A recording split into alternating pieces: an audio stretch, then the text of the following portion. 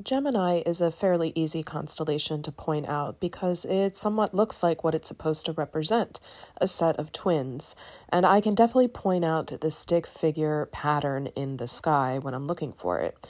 The brightest stars are Pollux and Castor. Castor's pretty interesting, it's a six star system. You can also see Canis Minor here, a simple two star pattern. And you can also use Orion to help you find Gemini. So here is where Orion is. Use Rigel to Betelgeuse, draw an imaginary line through those two stars, and it will direct you in the area of where Gemini is in the night sky. You can also use the belt stars to help you find Taurus in this photo.